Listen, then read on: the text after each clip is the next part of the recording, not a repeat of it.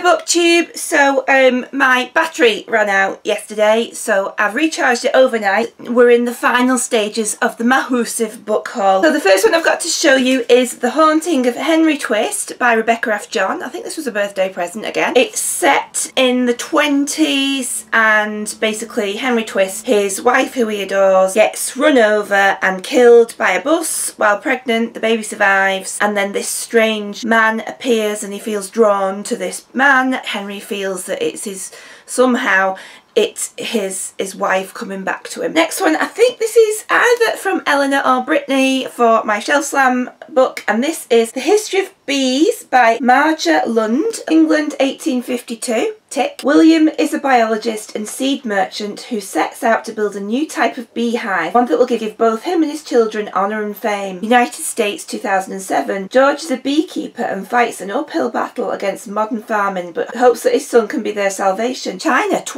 2098. Oh, this I love where this is going. Tao hand paints pollen onto the fruit trees now that the bees have long since disappeared. When Tao's young son is taken away by the authorities after a tragic accident, and she is kept in the dark about his whereabouts and condition, she sets out on a grueling journey to find out what happened to him. And it's supposed it's quite telling really that oh, potentially bees are at risk and this is what could happen. Look at the cover. This is like if you take the dust jacket off, this is what it looks like inside. How gorgeous is that? So pretty.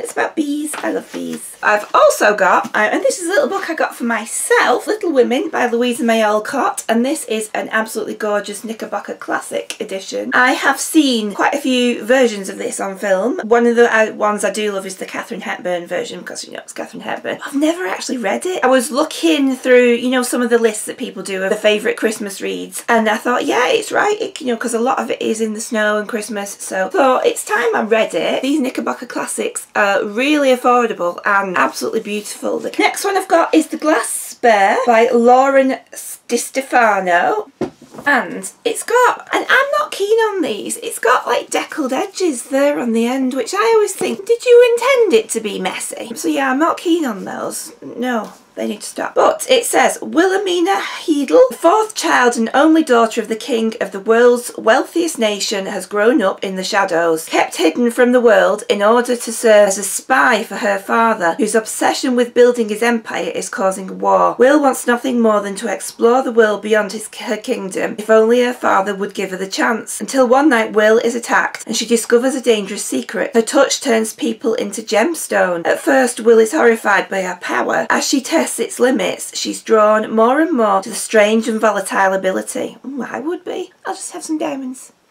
Pink. When it leads to tragedy though, Will is forced to face the destructive power within her, finally leave her home to seek the truth and a cure. But finding the key to her redemption puts her in the path of a cursed prince who has his own ideas on what to do with Will's power. With the world on the brink of war and a power of ultimate destruction, can Will find a way to help the kingdom that's turned its back on her, or will she betray her past and her family forever? Next, I've got Renegades by Marissa Meyer. The Renegades are a syndicate of prodigies, humans with extraordinary abilities who emerge from the ruins of a crumbled society and establish peace and order where chaos reigned. As champions of justice, they remain a symbol of hope and courage to everyone, except the villains they once overthrew, obviously they're going to be a little bit bitter, aren't they? Nova has a reason to hate the Renegades and she's on a mission for vengeance. She gets closer to her target, she meets Adrian.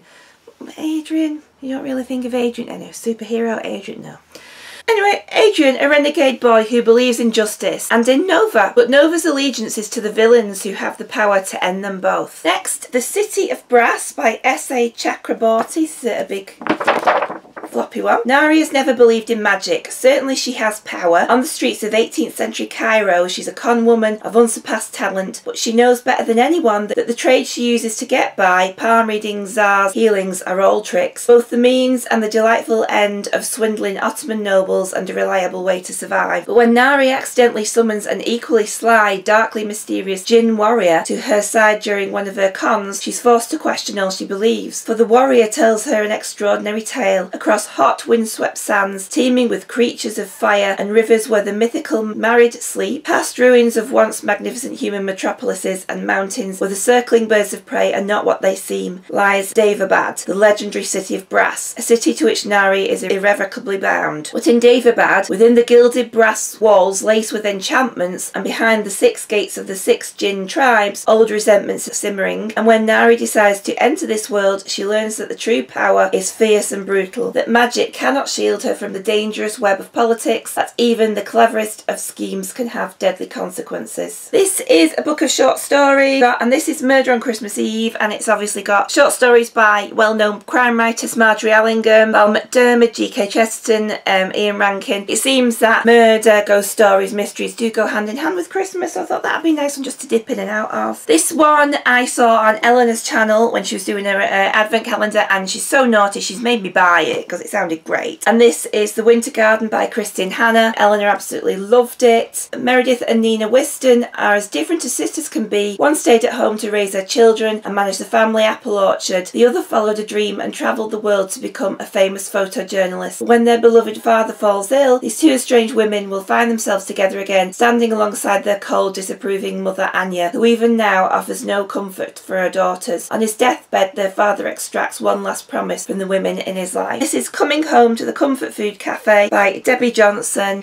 beautiful, pretty Christmas scene. Welcome to the Cosy Comfort Food Cafe. That's a winner for me. Where there's kindness in every cup of hot chocolate and the menu is sprinkled with love and happiness. Moving to the little village of Budbury, Zoe hopes the crisp Dorset sea breeze and gentle pace of life will be a fresh start for her and her goddaughter Martha. Luckily for them both, the friendly community at the cafe provide listening ears, sage advice, shoulders to cry on and some truly excellent carrot cake. That sounds good to me. And when Martha's enigmatic absent father suddenly turns up, confusing not only for Martha but Zoe too, the love and support of their newfound friends is the best present they could ask for. Just sounds like just a lovely warm hug of a book, doesn't it? This one I saw um, a Twitter feed from Waterstones where the author Joe Lycett um, was reading a little snippet of this book that he's he's wrote and it's called Parsnips Buttered. It just made me laugh and I think it's just like some like funny little irreverent emails that Joe uh, writes. He's a comedian in the UK and I thought this sounds like a, you know just something fun and a good laugh. One of the things that I got for my birthday of my lovely husband was a subscription to Fairy Loot which is a YA subscription service where you get a new YA book every month and lots of goodies to go with it and I've got a few to show you and I absolutely love it. One of the first books I've got to show you is The Last Namsara by Kristen Ciccarelli. Asha is a dragon slayer. Reviled by the very people she's sworn to protect, she kills to atone for the wicked deeds she committed as a child, one that almost destroyed her city and left her with a terrible scar. But protecting her father's kingdom is a lonely destiny. No matter how many dragons she kills, her people still think she's wicked. Even worse, to unite the fractured kingdom, she must marry Jarek, the cruel commandant. As the wedding day approaches, Asha longs for freedom. Just when it seems her fate is sealed, the king offers her a way out. Her freedom in exchange for the head of the most powerful dragon in Firgaard, and the only person standing in her way is a defiant slave boy. I feel rather sorry for dragons. I do think they're absolutely, I mean, I know they're not real, but I do think they're absolutely beautiful. I love them. Don't kill them. Just occasionally as well with Fairy Loot, you get an extra book as well. And so this is an advanced reader copy that they sent out. Fury Born by Claire Legrand. And obviously the cover to be, I mean, it's a big book. A Stunningly original must-read fantasy series of 2018 follows two young women centuries apart who hold the power to save the world or doom it. That's quite intriguing. One of the gifts that they did send, I think I got it this month, is this. Absolutely gorgeous. It's a little waterproof padded book pouch. So, you know, like obviously if you've got issues like I have with everything's going to be pristine and perfect and a book cannot look like you've read it. This is like if you're taking your book around to places, will keep it beautiful and pristine thrilled with that totally thrilled. Um, the next one I got is again an extra book that they put in and apparently this cover is an original one-off cover that you can't buy in the shops and this is The Language of Thorns by Leigh Bardugo and I think it's from the Court of Thorns and Roses series I think. Uh, so it's a beautiful naked hardback. If you look inside there are beautiful illustrations on the pages absolutely absolutely beautiful book. two more to go. Now then, I think I am done. Next one I've got to show you is Forest of a Thousand Lanterns by Julie C. Dao. Look at that, the snake there. Destinies for greatness, bound for ruin. Xifeng is beautiful. The cards foretell her fate. She's meant to be Empress of all Feng Lu, but only if she embraces the darkness buried deep within her soul. Down one path lies obscurity, the other leads to glory, yet not without great sacrifice. A lover spurned, cruel magic exploited, one question, one choice, reigns above all others. Is the price of the throne too high? And finally, I feel like we should have a fanfare here. Do do do do do do do.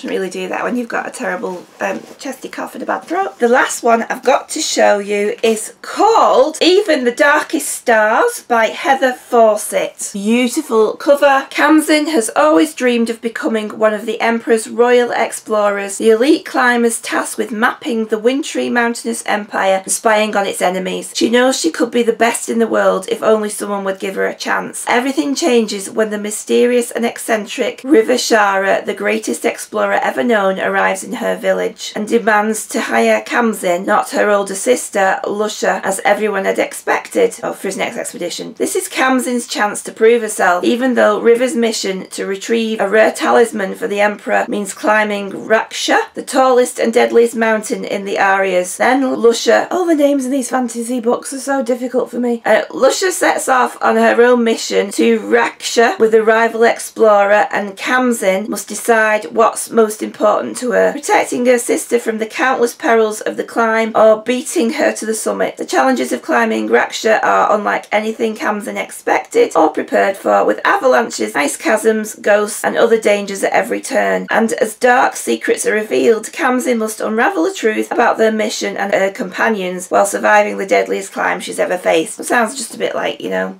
a bit of fantasy thrown in with adventure. So that is it. We've reached the end. If you stuck with me to the end, thanks for hanging on in there. So that's it for now. I will hopefully be back with you full time, reading my books again, engaging with the lovely booktube community because I've really missed you all. And I will see you all soon. Keep reading.